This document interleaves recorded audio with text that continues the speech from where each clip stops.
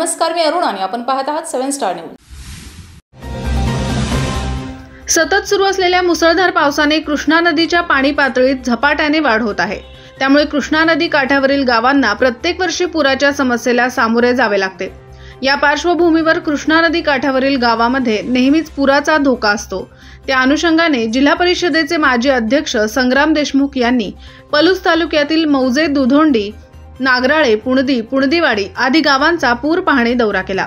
यावेळी संग्राम देशमुख यांनी कृष्णा नदीच्या काठानजीक ज्या शेतजमिनी पाण्याखाली गेलेल्या आहेत त्याचे पंचनामे करून शेतकऱ्यांना आर्थिक नुकसान भरपाई मिळण्यासाठी राज्याचे मुख्यमंत्री एकनाथरावजी शिंदे उपमुख्यमंत्री देवेंद्रजी फडणवीस व अजितदादा पवार यांच्याकडे पाठपुरावा करू असे संग्राम देशमुख यांनी सांगितले. यावेळी दुधोंडी गावचे ज्येष्ठ नेते शिवाजीराव मगर पाटील यांनी पूरस्थितीबाबतचा शेतीच्या नुकसानीचा आढावा संग्राम देशमुख यांच्या निदर्शनास आणून दिला.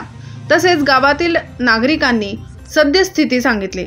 यावेळी सर्वांना सतर्क व सुस्थळी स्थलांतर करून राहण्याचे आवाहन संग्राम देशमुख यांनी केले.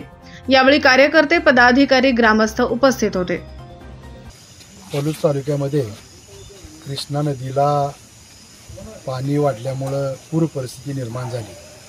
आणि आज या ठिकाणी दुदंडी गावामध्ये पुराची परिस्थिती पाहण्याच्या दृष्टीने आम्ही सर्वजणांनी या ठिकाणी भेट दिली. वास्तविक पाहता पुराचा धोका तसा थोडाफार टळला अशी परिस्थिती या ठिकाणी निर्माण झालेली आपल्याला पाहायला मिळते. तरीसुद्धा नागरिकांनी सावधगिरी पाळण्याची आवश्यकता आहे. प्रशासनानं वेळोवेळी सूचना केली त्या सूचनेचं पालन करून आपण ह्या सगळ्या गोष्टीचं या ठिकाणी निश्चितपणानं अवलोकन करावं असं मी या निमित्तानं आवाहन करतो. सरकार दरबारी या पूरपट्ट्यातली पाहणी केल्यामुळं आमच्या सगळ्यांच्या हे निदर्शनास आलेलं आहे की शेतकऱ्यांच्या शेतीचं मोठ्या प्रमाणावरती या ठिकाणी नुकसान झालेलं आहे. मी निश्चितपणानं आम्ही सर्वजण सरकार दरबारी याची मागणी करू आणि लवकरात लवकर याची पंचनामे होऊन जास्तीत जास्त आमच्या शेतकऱ्यांना भरपाई कशी मिळेल याचा आम्ही पाठपुरावा करू. हां. आज महापुराची पाहणी करण्यासाठी आपल्या जिल्हा परिषदेचे माजी अध्यक्ष जिल्हा बँकेचे संचालक आदरणीय संग्राम भाऊ आज दुदुंडी या ठिकाणी पूर पाहणी करण्यासाठी उपस्थित राहिले.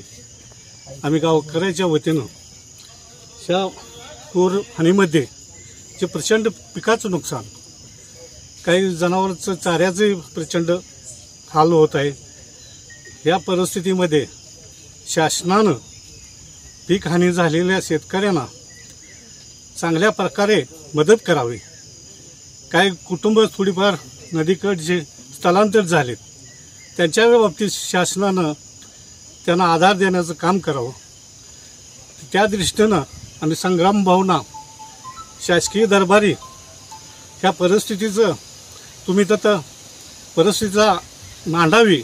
त्या न नदीकाठच्या गावांना दिलासा देण्याचं आपण काम करावं. असं मी या दोदोंडी गावच्या सर्व नागरिकाच्या वतीनं मी त्यांना विनंती करत आहे.